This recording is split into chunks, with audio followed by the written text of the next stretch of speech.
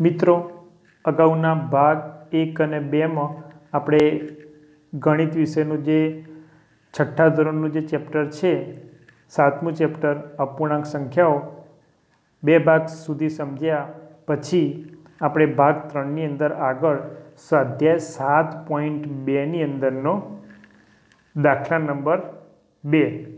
અને એમાં એ અને બી મેં તમને અગાઉ સમજાયો હતો હવે સી ડી ઈ અને એફ એમાં જે બાકીના દાખલા છે, એ આપણે સમજીએ. જુઓ. હવે નેક્સ્ટની અંદર આપણે જઈએ. જ્યાંથી આપણે ભાગ બેમાં અટક્યા હતા, એટલેથી આપણે શરૂઆત કરીશું. જુઓ. ભાગ બેમાં મેં તમને એ અને બી સમજાયું હતું. એમાં તમે જુઓ તો મિશ્ર સંખ્યા મિશ્ર અપૂર્ણાંક સ્વરૂપમાં દર્શાવવાનું છે. એટલે તમને અશુદ્ધ અપૂર્ણાંક આપેલો છે. જો અશુદ્ધ અપૂર્ણાંક હોય તો જ એને આપણે મિશ્ર અપૂર્ણાંકમાં ફેરવી શકીએ. શુદ્ધ અપૂર્ણાંકને મિશ્ર અપૂર્ણાંકમાં ફેરવી શકાય નહીં. તો અહીંયા આપણે વીસ ભાગ્યા ત્રણ કર્યા હતા. એમાં છ તરી અઢાર.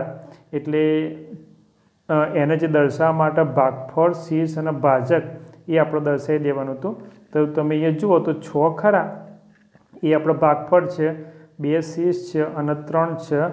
એ ભાજક છે. બરાબર? એ જ રીતે યો અગિયાર ભાગ્યા પાંચ હતા. ઉપર તમે જોશો તો અગિયાર ભાગ્યા પાંચ. તો યો ધ્યાનથી જુઓ તો પાંચ દુ દસ. તો એ દસ આવ્યા તો દસના આપણે શું કર્યું છે? પાંચ દુ દસ એટલે શેષ બે વધી. તો યો બે ભાગફળ એક છે. એ આપણને શેષ છે અને બે છે એ ભાજક. બરાબર? આટલે સુધી મેં તમને સમજાવ્યું હતું હવે નેક્સ્ટ સ્લાઇડની અંદર એના પછીનો દાખલા નંબર બેનો સી સમજીએ. જો દાખલા નંબર બેમાં સી તો એમાં આપણે શરૂઆત કરીએ છીએ જો મિત્રો અહીંયા સીની અંદર તમને આપેલું છે સત્તર ભાગ્યા બે સાત. સત્તર ભાગ્યા સાત, તો અહીંયા સત્તરનો સાત સાથેનો ભાગાકાર કરીએ તો સાત દુ ચૌદ. તો એ ચૌદ આવી ગયા. હવે સત્તરમાંથી ચૌદ જશે તો બે વધશે. આ સોરી ત્રણ વધશે. સત્તરમાંથી ચૌદ જાય એટલે ત્રણ, એટલે સાતમાંથી ચાર ગયા તો ત્રણ વધ્યા. તો ચલો એ ત્રણ. એટલે અહીંયા ભાગફળ બે છે, શેષ ત્રણ છે અને ભાજક સાત છે. તો પહેલાં ભાગફળ લખીશું, પછી શેષ લખીશું અને નીચે સાત છે એ ભાજક છે. તો એ સત્તર છેદમાં સાતના જે મિશ્ર સંખ્યા આપણને કઈ મળી? તો બે પૂર્ણાંક ત્રણ છેદમાં સાત. બરાબર? તમામ દાખલામાં એ રીતે કરવાનું છે. તો ચલો એના પછીનો દાખલા નંબર ડી. તો એમાં અઠ્યાવીસ ભાગ્યા પાંચ કરવાના છે. કેટલા કરવાના છે? અઠ્યાવીસ ભાગ્યા પાંચ. તો યો પાયો પાયો પચીસ. તો પચીસ આપણે અઠ્યાવીસથી નીચે મૂકીશું અને એમાં અઠ્યાવીસમાંથી આપણે પચીસ બાદ કરીએ, તો આઠમાંથી પાંચ જશે તો ત્રણ વધશે. તો ચલો, પાંચ ભાગફળ થયા, ત્રણ શેષ થઈ અને પાંચ એ ભાજક. તો એ ભાગફળ, પછી શેષ ત્રણ, પછી ભાજક પાંચ, એટલે કે પાંચ પૂર્ણાંક ત્રણ પંચમાંશ આનો અઠ્યાવીસ છેદમાં પાંચનો મિશ્ર સંખ્યામાં જવાબ આવી ગયો. ચલો, એના પછીનો આપણે જોઈએ. ડી પછી ઈ આપણે જોઈશું. તો એની અંદર તમે જુઓ, તો ઓગણીસ છેદમાં છ. ચલો, ઓગણીસ છેદમાં છ, તો છ વડે આપણે એનો ભાગાકાર કરવાનો છે. છ તરી અઢાર. બરાબર? તો ઓગણીસના નીચે અઢાર આવી ગયા. તો હવે નવમાંથી આઠ જશે, તો કેટલા વધશે? એક વધશે. તો એ ત્રણ ભાગફળ, એક શીશ અને છ ભાજક. તો ઓગણીસ છેદમાં છનો જવાબ આવી ગયો. ત્રણ પૂર્ણાંક એક છેદમાં છ. બરાબર? હવે એના પછીનો દાખલો છે પાંત્રીસ છેદમાં નવ. એફ દાખલો છે. તો નવ વડે પાંત્રીસનો ભાગાકાર કરીશું તો નવ તરી સત્યાવીસ. તો પાંત્રીસના નીચે સત્યાવીસ આવી ગયા. તો ચલો, હવે સત્યાવીસ બાદ કરવા પડશે પાંત્રીસમાંથી. તો પાંચમાંથી સાત ના જાય તો દસકો લઈએ એટલે અહીંયા ત્રણની ઉપર બે આવશે અને અહીંયા દસકો એટલે પંદર આવશે તો પંદરમાંથી સાત જાય તો આઠ. પંદરમાંથી સાત જશે તો કેટલા વધશે? આઠ. તો આઠ એ આપણને શું મળ્યું? શેષ મળ્યું બરાબર છે? તો હવે અહીંયા આપણે લખી દઈશું. ત્રણ એ ભાગફળ, આઠ શેષ અને નવ એ ભાજક. તો અહીંયા પાંત્રીસ છેદમાં આઠના આપણને મિશ્ર સંખ્યામાં જવાબ મળ્યો. ત્રણ પૂર્ણાંક આઠ નવમાંશ શું મળ્યું? ત્રણ પૂર્ણાંક આઠ નવમાંશ બરાબર? તો આ દાખલા નંબર બે અહીંયા મિશ્ર સંખ્યામાં જે દાખલા ગણવાના હતા એ પૂરા થઈ ગયા. હવે એના પછી દાખલા નંબર ત્રણ આવે છે. તો ચલો, દાખલા નંબર ત્રણની હું રકમ વાંચું છું અને આપણે એના સમજીએ. નીચે આપેલાને અશુદ્ધ અપૂર્ણાંક સ્વરૂપમાં દર્શાવો. નીચે આપેલાને શું કરવાનું છે? અશુદ્ધ અપૂર્ણાંક સ્વરૂપે દર્શાવો. તો આના આપણે તમને ઉપરની જે સંખ્યાઓ દાખલા આપ્યા હતા, એ મિશ્ર સંખ્યામાં, અશુદ્ધમાંથી મિશ્ર સંખ્યામાં ફેરવ્યા હતા. હવે તમને મિશ્ર સંખ્યા આપેલી છે જો ધ્યાનથી તમામની અંદર. તો એ મિશ્ર સંખ્યામાંથી તમારા અશુદ્ધ પૂર્ણાંકમાં ફેરવવાના છે. એટલે ઉપરના દાખલામાં જે રીત કરી હતી, એની ઉલટી રીત કરવાની છે. બરાબર? ઉપરના દાખલામાં જે રીત કરી એની ઊંધી રીત કરવાની છે, એટલે યો ભાગફળ અને જે ભાજક છે એનો ગુણાકાર કરી અને એમાં શેષ ઉમેરવાના થશે. તમામ દાખલાની રકમ વાંચું છું. પહેલાં એ એ સાત પૂર્ણાંક ત્રણ ચતુર્થાંશ બી પાંચ પૂર્ણાંક છ છેદમાં સાત સી બે પૂર્ણાંક પાંચ છેદમાં છ, ડી દસ પૂર્ણાંક ત્રણ છેદમાં પાંચ, ઈ નવ પૂર્ણાંક ત્રણ છેદમાં સાત, એફ આઠ પૂર્ણાંક ચાર છેદમાં નવ. બરાબર? તો આ તમામ દાખલાઓ છે. હવે આપણે એના અશુદ્ધ અપૂર્ણાંકમાં ફેરવવા માટે ગણતરી કરીશું. તો ચલો આપણે શરૂઆત કરીએ દાખલાની. તો અહીંયા જવાબમાં જોઈએ. મિશ્ર અપૂર્ણાંકને અશુદ્ધ અપૂર્ણાંકમાં ફેરવવા માટે આપણે શું કરીશું? અશુદ્ધ અપૂર્ણાંકનું સૂત્ર છે. તો ચલો એની પછીની સ્લાઇડમાં આપણે સમજીએ. સૂત્ર. જુઓ. અશુદ્ધ અપૂર્ણાંક. તો અશુદ્ધ અપૂર્ણાંક બરાબર પૂર્ણાંક ગુણ્યા છેદ વત્તા અંશ ભાગ્યા છેદ. અશુદ્ધ અપૂર્ણાંક આપણે શોધવાનું છે. તો અશુદ્ધ અપૂર્ણાંક બરાબર પૂર્ણાંક ગુણ્યા છેદ વત્તા અંશ ભાગ્યા છેદ. બરાબર? આ સૂત્રમાં કિંમત મૂકવાની છે, એટલે આપણે સીધો સીધો જવાબ આવી જશે. ચલો, પહેલો દાખલો એ ત્રણ સાત પૂર્ણાંક ત્રણ ચતુર્થાંશ. તો ચલો સાત એ પૂર્ણાંક છે અને અહીં ચાર એ છેદ છે અને ત્રણ એ અંશ થશે. બરાબર? તો અહીંયા જો પૂર્ણાંક ગુણ્યા છેદ, તો ચલો, પૂર્ણાંક અહીંયા સાત અને છેદ ચાર, તો એ બેનો ગુણાકાર કરી દીધો. સાત ગુણ્યા ચાર, પછી વત્તા અંશ. તો અહીંયા અંશ ત્રણ છે, તો વત્તા ત્રણ કરી દીધા. અને છેદ કેટલા છે, ચાર? તો છેદ નીચે મૂકી દીધા. બરાબર? તો આ રીતે સૂત્રમાં કિંમત મૂકીને પછી સીધું સાત રૂપ આપી દઈશું. વિદ્યાર્થી મિત્રો, તો સાત ચોક અઠ્યાવીસ અને અઠ્યાવીસમાં આપણે ત્રણ ઉમેરીશું. તો અઠ્યાવીસ વત્તા ત્રણ એટલે એકત્રીસ છેદમાં ચાર. તો એકત્રીસ છેદમાં ચાર આ આનો આપણે જવાબ જવાબ આવી ગયો. મિત્રો, તમામ દાખલા આ રીતે જ કરવાના છે. તમે નેક્સ્ટ દાખલામાં જુઓ. જો બી પાંચ પૂર્ણાંક છ સતમાંશ, તો એ પાંચ ગુણ્યા સાત, એટલે કે પૂર્ણાંક ગુણ્યા છેદ, તો નીચે જે છેદ છે, એ સાત અને પૂર્ણાંક પાંચ એ બેનો ગુણાકાર, એટલે સાત પંચુ પાંત્રીસ, અને વત્તા આપણો અંશ ઉમેરી દેવાનો છે. તો પાંત્રીસ વત્તા છ એટલે એકતાલીસ થશે. અને જે છેદમાં છે એને કંઈ જ કરવાનું નથી એ સંખ્યા તમારે એમના એમ રહેવા દેવાની છે. તો પાંત્રીસને છ એકતાલીસ છેદમાં સાત, આનો જવાબ આવી ગયો, બરાબર? એના પછીનો દાખલો છે સી, બે પૂર્ણાંક પાંચ ષષ્ટમાંશ તો એમાં પણ છેદ અને પૂર્ણાંક સંખ્યાનો ગુણાકાર વત્તા અંશ પાંચ. તો છ દુ બાર વત્તા પાંચ. તો બાર વત્તા પાંચ એટલે સત્તર.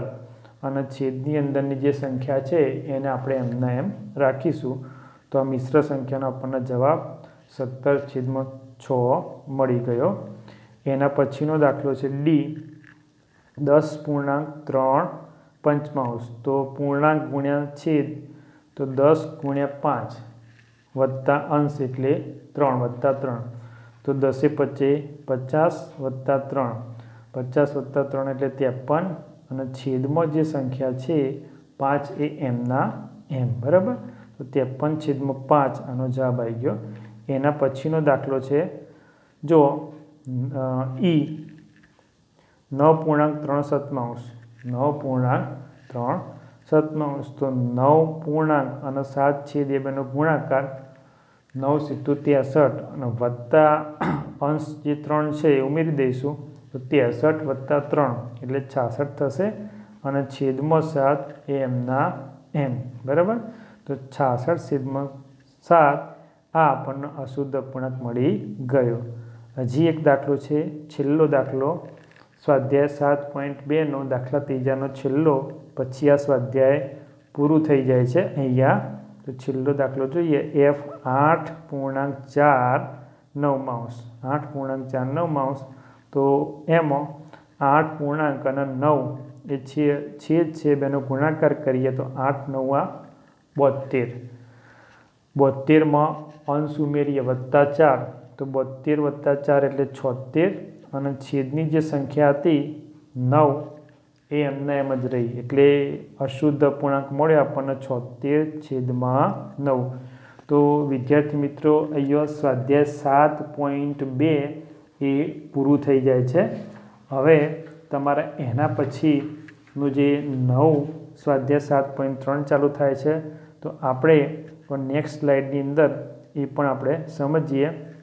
જો પહેલાં આપણે જેમ અગાઉના સ્વાધ્યાયમાં મેં તમને સમજાવ્યું હતું એ પ્રમાણે જે મેઇન મેઇન પોઈન્ટ્સ સ્વાધ્યાય સાત પોઈન્ટ ત્રણમાં આવે છે, એ તમામમાં પહેલાં સૌ પ્રથમ તમને સમજાવું છું. અને ત્યારબાદ આપણે સ્વાધ્યાય સાત પોઈન્ટ ત્રણની શરૂઆત કરીશું. બરાબર? તો ચલો, કયા કયા પોઈન્ટ્સ આવે છે એ આપણે પહેલાં સૌ પ્રથમ સમજી લઈએ. તો સ્વાધ્યાય સાત પોઈન્ટ ત્રણની અંદર તમારે સમ અપૂર્ણાંક આવશે. કેવા દાખલા આવશે? સમ અપૂર્ણાંકના તો એમાં જે અપૂર્ણાંકનું અતિ સંક્ષિપ્ત સ્વરૂપ અતિ સંક્ષિપ્ત રૂપ એક સમાન હોય, તો તે, તો તેવા અપૂર્ણાંકને સમ અપૂર્ણાંકો કહે છે. બરાબર? અથવા જે આકૃતિઓ એક સમાન હોય, અથવા જે આકૃતિઓ એક સમાન હોય તો તેના દ્વારા બનતા અપૂર્ણાંકોને સમ અપૂર્ણાંકો કહે છે. એ વિદ્યાર્થી મિત્રો, અહીંયા સમ અપૂર્ણાંકોમાં આપણે તમને અલગ અલગ અપૂર્ણાંકો આપેલા છે અને એને આપણે છેદ ઉડાડીએ. એટલે કે અતિ સંક્ષિપ્ત રૂપ લાવીએ. અંશ અને છેદનો જે છેદ ઉડતા હોય સરખા સરખા, ઉડાડી અને એ તમામ અપૂર્ણાંકો સમાન થાય તો એનો સમ અપૂર્ણાંકો કહેવાય. અથવા આકૃતિઓના આકાર એક સરખા જ હોય. તમામ આકૃતિઓ. આકૃતિઓ એક સમાન હોય અને તેના દ્વારા બનતા અપૂર્ણાંકોને સમ અપૂર્ણાંકો કહેવાય. અને એના મેં કેટલાક ઉદાહરણ લઈને તમને સમજાવવાનો પ્રયત્ન કર્યો છે. જો એ તમે નીચે ધ્યાનથી જુઓ. આ તમામ આકૃતિઓ એક સરખા આકારની જ છે. એ કદે એક સરખા છે. પણ આપણે ખાનાની સંખ્યા અલગ અલગ છે. પહેલાંમાં બે ખાના પાડે છે. બીજી આકૃતિમાં ચાર ખાના પાડે છે. અને ત્રીજી આકૃતિમાં છ ખાના પાડે છે. રંગ પહેલી આકૃતિમાં અડધા ભાગમાં કરેલા છે, બીજી આકૃતિમાં પણ અડધા ભાગમાં રંગ કરેલા છે અને ત્રીજી આકૃતિમાં પણ જે લાલ રંગ છે એ અડધા ભાગમાં જ કરેલો છે. તો આવી આકૃતિઓને સમ અપૂર્ણાંક કહેવાય. અને એના દ્વારા જે આપણે સંખ્યા દર્શાવીશું ને, એ પણ સમ એટલે કે સરખી એટલે સમ અપૂર્ણાંક કહેવાશે. ચલો, એ દાખલામાં આપણે હવે રીત સાથે સમજીએ. પહેલી આકૃતિ એ છે.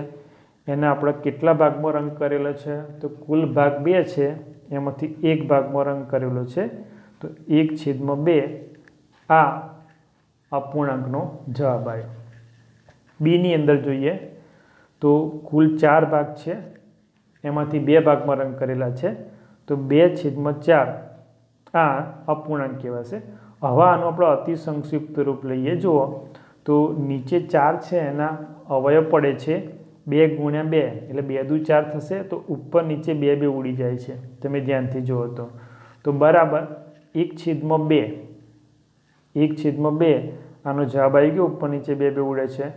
તો આ અતિ સંક્ષિપ્ત રૂપ થઈ ગયું. એ જ રીતે ચલો સી, દાખલા નંબર સી. તો એમાં તમે જુઓ કુલ છ ભાગ છે, એમાંથી ત્રણ ભાગમાં રંગ કરેલા છે. તો એનો અપૂર્ણાંક થયો ત્રણ છેદમાં છ. તો હવે એને આપણે અતિ સંક્ષિપ્ત રૂપ લઈ અને છેદ ઉડાડીશું. તો યો છના બે અવયવ, બે ગુણ્યા ત્રણ, બે તરી છ. તો બે તરી છ મૂકી દીધા, પણ ઉપર નીચે તમે જુઓ તો ત્રણ ત્રણ શું થાય છે? ઉડી જાય છે. સરખા સરખા ઉપર નીચે ભાગાકારમાં હોય તો ઉડી ગયા. તો વધ્યા કેટલા? ઉપર કંઈ ના વધ એટલે એક સમજવાનું અને નીચે બે તો એક દૂત્યાંશ. તો એ જુઓ, યો એક દૂત્યાંશ, અહીં પણ એક દૂત્યાંશ આ રહ્યો. અને આ છેલ્લો જે છે, એટલે કે પહેલા નંબરનો એ પણ એક દોત્યાંશ છે, તો તમામ સમ અપૂર્ણાંકો કહેવાશે અને આકૃતિઓ પણ કેવી કહેવાશે? સરખી કહેવાશે, બરાબર? તો આને આપણે સમ અપૂર્ણાંકો કહીશું. એના પછીનો પોઈન્ટ છે, અપૂર્ણાંકોનું આપણે અતિ સંક્ષિપ્ત સ્વરૂપ કઈ રીતે લાવીશું? અતિ સંક્ષિપ્ત સ્વરૂપ. તો જે અપૂર્ણાંકોના અંશ અને છેદમાં એક સિવાય અન્ય કોઈ બીજા સામાન્ય અવયવ ન હોય, એક સિવાય અન્ય બીજા કોઈ સામાન્ય અવયવ ન હોય, તો તેવા અપૂર્ણાંકોને અતિ સંક્ષિપ્ત સ્વરૂપમાં છે તેમ કહેવાય. શું કહેવાશે? અતિ સંક્ષિપ્ત સ્વરૂપમાં છે તેમ કહેવાશે. બરાબર? તો આ અતિ અપૂર્ણાંકના અતિ સંક્ષિપ્ત સ્વરૂપની વ્યાખ્યા છે. ટૂંકમાં વિદ્યાર્થી મિત્રો, આપણે ઉપર જુઓ. કે જે છેદ ઉડતા હતા ઉડાડી દીધા પછી એક દ્વિતીયાંશમાં એક સિવાય હવે બીજા કોઈ અવયવ નથી ઉપર નીચે. એટલે એવા છેદ ઉડતા નથી. એટલે એના અતિ સંક્ષિપ્ત સ્વરૂપ કહેવાશે. ફરી એકવાર વ્યાખ્યામાં બોલું છું. જે અપૂર્ણાંકના અંશ અને છેદમાં એક સિવાય અન્ય કોઈ બીજા સામાન્ય અવયવ ના નીકળતા હોય, તો તેવા અપૂર્ણાંકને અતિ સંક્ષિપ્ત સ્વરૂપમાં છે. એમ કહેવાય. ટૂંકમાં આપણે છેદ ઉડાડી અને અતિ સંક્ષિપ્ત રૂપ લાવવાનું છે એટલે પછી એક જ અવયવ રહેશે. બરાબર? બીજો અવયવ ના હોવો જોઈએ. તો એના કેટલાક દાખલા મેં ગણીને સમજાવ્યા છે. તો જુઓ તમે આની અંદર છત્રીસ છેદમાં ચોપન તો ચલો એના અવયવ લઈએ. તો અઢાર દુ છત્રીસ અને અઢાર તરી ચોપન તો આ ઉપર નીચે બંનેમાં અઢાર અઢાર સામાન્ય અવયવ નીકળે છે. તો એના છેદ ઉડાડી દીધા. અઢાર અઢાર ઉડી ગયા તો વધ્યા કેટલા? બે છેદમાં ત્રણ. હવા આની અંદર કંઈ જોડતું નથી. બે એકા બે અને ત્રણ એકા ત્રણ. તો બંનેમાં એક એક સામાન્ય અવયવ થઈ જાય વ્યાખ્યા પ્રમાણે. તો હવા આનું અતિ સંક્ષિપ્ત સ્વરૂપ એટલે કે ટૂંકું સ્વરૂપ થઈ ગયું. કોણું? છત્રીસ છેદમાં ચોપનનું બરાબર? એ જ રીતે બીજા દાખલાથી સમજીએ. પંદર છેદમાં પંચોતેર. તો ચલો બરાબર પંદર અને છેદમાં પાંચ ગુણ્યા પંદર એટલે પંદર પંચું પંચોતેર. પંચોતેરના બે અવયવ પાડી દીધા. પંદર પંદર ઉપર નીચે સરખા હતા, ઉડી ગયા. વધ્યા કેટલા? બરાબર એક છેદમાં પાંચ. તો આનું પંદર છેદમાં પંચોતેરનું અતિ સંક્ષિપ્ત સ્વરૂપ થઈ ગયું. બરાબર છે? તો હવે આનમાં પણ એક જ અવયવ સામાન્ય છે. ચલો દાખલા નંબર એમાં ત્રીજો. તો સોળ છેદમાં બોતેર. તો યો સોળના બે અવયવ છે. આઠ દુ સોળ. અને બોતેરના અવયવ છે નવ અઠ્ઠું બોતેર. તો ઉપર નીચે આઠ આઠ ઉડી જાય છે. જો સરખા સરખા. તો વધ્યા કેટલા?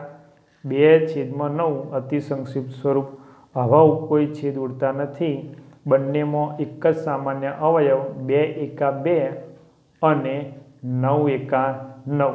બરાબર? બંનેમાં એક એક જ નીકળશે. તો આવા તમામ સ્વરૂપોને આપણે અતિ સંક્ષિપ્ત સ્વરૂપ કહીશું. બરાબર છે?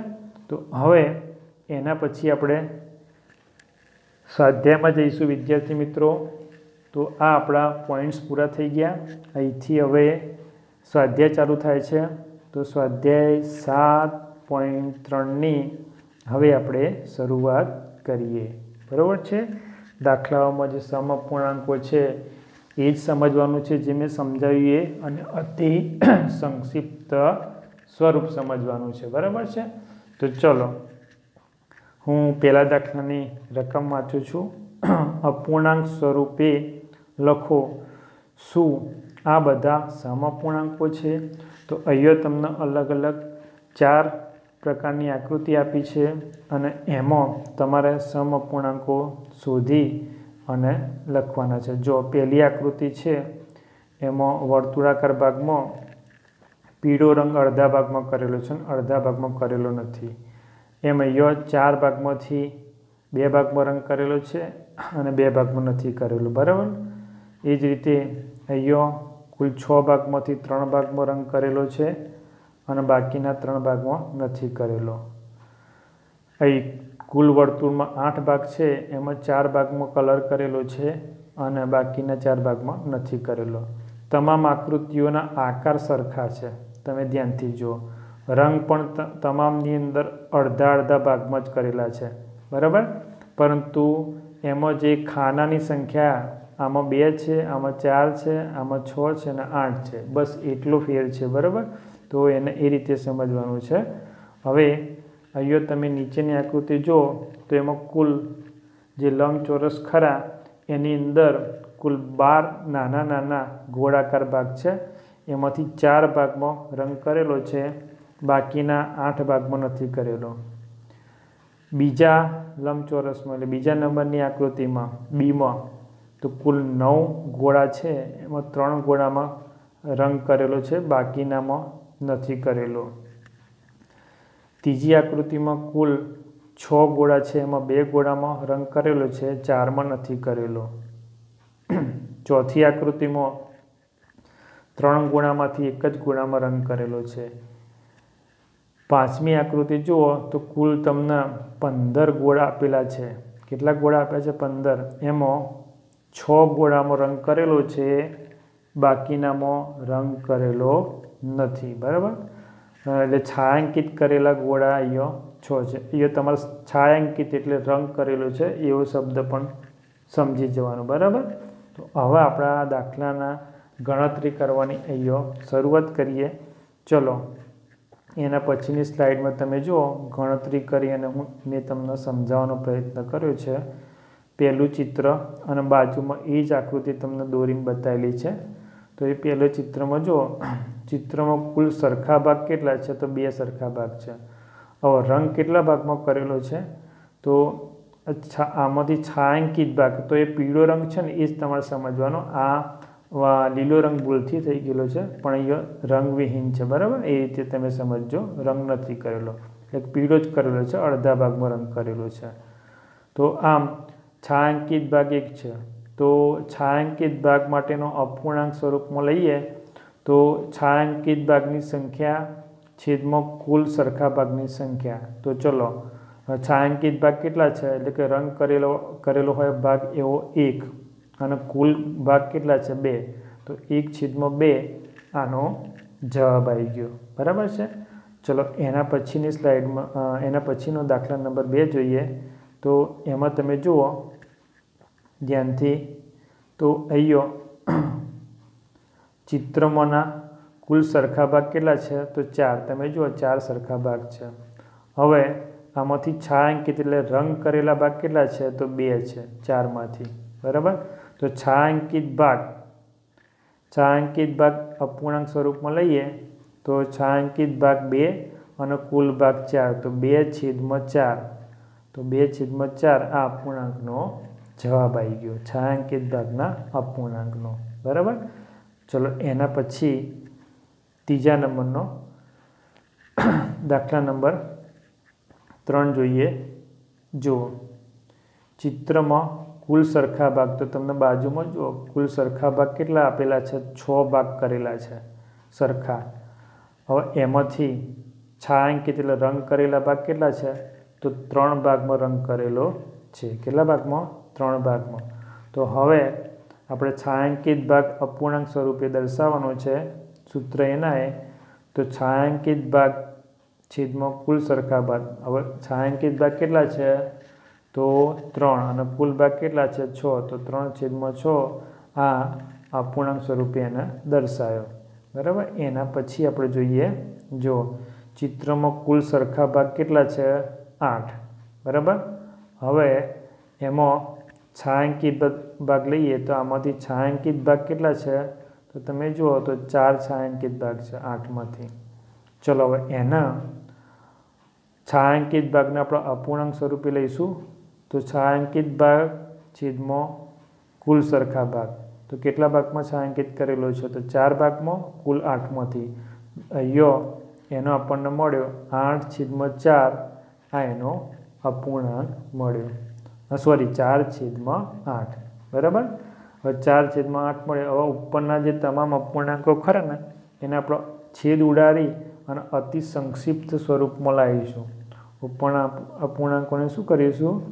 અતિ સંક્ષિપ્ત સ્વરૂપમાં લાવવા માટે મેં તમને જે આગળ પોઈન્ટ્સમાં સમજાવ્યું તે પ્રમાણે આપણે છેદ ઉડાડવાના થશે. તો નેક્સ્ટ સ્લાઇડની અંદર આપણે જોઈએ. જુઓ. ઉપર તમને જે આપેલા છે અહીંયા પહેલું જે સંખ્યા એટલે કે દાખલા નંબર બે હતો, એમાં બે છેદમાં ચાર હતા. તો એ બે વડે બે અને ચારનો ગુસા સામાન્ય અવયવ લઈએ તો બે થાય બંનેમાં. કારણ કે અહીંયા બે અને ચાર એટલે બે દુ ચાર થશે. તો એ બે વડે ભાગ ચલાવીએ, બે ભાગ્યા બે, તો બે એકા બે એટલે એક આવશે અને ચાર ભાગ્યા બે કરીએ તો એ શું આવશે? બે આવશે. તો અહીંયા જે આનો જવાબ મળશે આપણને એક છેદમાં બે. એમ બી તમે નીચે ચાર છે તો બે દૂ ચાર, એટલે ઉપર નીચે બે બે ઉડી જશે. એટલે એક દૂત્યાંશ આ, આનો જાપ મળી જશે. બરાબર? અતિ સંક્ષિપ્ત સ્વરૂપમાં. એ જ રીતે દાખલા નંબર ત્રણમાં જુઓ તો ત્રણ છેદમાં છ હતા. તો ત્રણ દૂ છ, એટલે ઉપર નીચે ત્રણ ત્રણ ઉડી જશે અને અથવા ત્રણ ત્રણ વડે ભાગ ચલાવીશું. કેમ? ત્રણ ત્રણ વડે? કારણ ત્રણ અને છનો ગુસા ત્રણ છે. આ ગુસા શબ્દ એટલા માટે મિત્રો લઈશું કે ત્રણ ખરા ને, એ ત્રણ વડે છને ભાગ ચાલી શકે અને ત્રણને ભાગ ચાલી શકે. એટલે જે સંખ્યા વડે બંને સંખ્યાઓનો ભાગ ચાલે એ એનો ગુસા કહેવાશે. બરાબર? તો ત્રણ એ ગુસા થશે. તો ત્રણ ભાગ્યા ત્રણ એટલે એક અને છ ભાગ્યા ત્રણ એટલે ત્રણ દુ છ એટલે શું આવશે? યો બે આવશે જવાબ બરાબર? તો યો એક દૃત્યાંશ આનું અતિ સંક્ષિપ્ત સ્વરૂપ. એ જ રીતે ચાર છેદમાં આઠ. તો એમાં પણ ચાર અને આઠનો, ચાર અને આઠનો ગુસા એ આઠ લખવાના રહી ગયા છે. ચાર અને આઠનો ગુસા. તો એ ચાર આવશે કારણ કે ચાર ભાગ્યા ચાર એટલે એક અને ચાર દુ આઠ તો બંનેમાં ચાર સમાયેલા છે. તો એ ચાર ભાગ્યા ચાર એટલે એક અને આઠ ભાગ્યા ચાર, તો ચાર દુ આઠ એટલે એ બે મળે. તો અહીંયા એક દૃત્યાંશ આનો જવાબ આવી ગયો. બરાબર? તો આમ ઉપરના જે તમામ અપૂર્ણાંકો કહેવાય, એ સમ અપૂર્ણાંકો થશે. તો પહેલાંમાં જો તમે જોયો તો જવાબ કેટલો આવ્યો તો એક છેદમાં બે. પછી બીજામાં બે છેદમાં ચાર છે, એના અતિ સંક્ષિપ્ત સ્વરૂપ એક છેદમાં બે તમામની અંદર આવેલા છે. જો એક છેદમાં બે, એક છેદમાં બે, એક છેદમાં બે. તો આ તમામને સમ અપૂર્ણાંકો કહેવાશે. કારણ કે આના અતિ સંક્ષિપ્ત સ્વરૂપ સરખા થાય છે એટલા માટે. ચલો, એના પછી જે બીની અંદર જોઈએ, જે બી ચિત્ર હતું, એ તમને બાજુમાં આકૃતિ દોરીને બતાવેલું જ છે. તેમ છતાં આપણે એના સમજીએ. જો અહીંયા કુલ બાર ગોળા છે, એમાં ચાર ગોળામાં રંગ કરેલા છે. ચિત્રમાં કુલ સરખા ભાગ બાર છે. હવે કેટલા ભાગમાં રંગ કરેલા છે? તો છાયાંકિત ભાગે ચાર છે. તો હવે છાયાંકિત ભાગને આપણે અપૂર્ણાંક સ્વરૂપે લઈશું. તો છાયાંકિત ભાગના અપૂર્ણાંક સ્વરૂપે લઈએ, તો છાયાંકિત ભાગ છેદમાં કુલ સરખા ભાગ. તો એ ચાર, છાયાંકિત ભાગ ચાર, એટલે કે રંગ કરેલા ભાગ ચાર અને કુલ ભાગ બાર, એટલે ચાર છેદમાં બાર, આનો અપૂર્ણાંક થયો. એના પછી નેક્સ્ટ સ્લાઇડની અંદર આપણે જોઈએ. બીજા નંબરનો દાખલો. તો બીની અંદર બીજો ચિત્રોમાંના કુલ સરખા ભાગ, તો એ તમને નવ ગોળા આપેલા છે. એ કુલ સરખા ભાગ નવ છે. તો હવે છાયાંકિત કરેલા ગોળા કેટલા છે? તો છાયાંકિત કરેલા ભાગ ત્રણ છે. હવે એને આપણે છાયાંકિત કરેલા ભાગના અપૂર્ણાંકમાં લઈએ.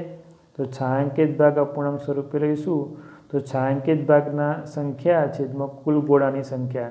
તો છાયાંકિત ભાગની સંખ્યા ત્રણ છે. અને ગોળાની કુલ સંખ્યા નવ, તો ત્રણ છેદમાં નવ આનો જવાબ આવી ગયો. એના પછી ચિત્રમાંના, હવે બાજુમાં ચિત્ર જુઓ તો કુલ આપણને છ ગોળાઓ આપેલા છે. તો કુલ સરખા ભાગ છ. અને રંગ કરેલા ભાગ કેટલા છે? તો આમાંથી કુલ છાંકિત કરેલા ભાગ બે છે. હવે એને આપણે અપૂર્ણાંક સ્વરૂપે લઈશું. તો છાંકિત ભાગ અપૂર્ણાંક સ્વરૂપે લેવા માટે છાંકિત ભાગની સંખ્યા છેદમાં કુલ સરખા ભાગ. તો છાંકિત ભાગ બે અને કુલ સરખા ભાગ છ. તો બે છેદમાં છ આ પૂર્ણાંકનો જવાબ આવી ગયો. બરાબર છે? એના પછી ચોથા નંબરનો. તો ચિત્રમાં એ બીજી આકૃતિમાં તમને, આકૃતિ નેક્સ્ટ સ્લાઇડની અંદર છે, તો એ તમે જોશો તો ખ્યાલ આવશે તેમાં કુલ સરખા ભાગ ત્રણ આપેલા છે. એટલે ત્રણ ગોળાઓ તમને આપેલા હશે. તો એ બીજી સ્લાઇડમાં તમે જુઓ તો ખ્યાલ આવશે. જો બીજી સ્લાઇડમાં કુલ ત્રણ ગોળાઓ આપેલા છે, બરાબર? એમાં રંગ કરેલો ગોળો માત્ર એક જ છે.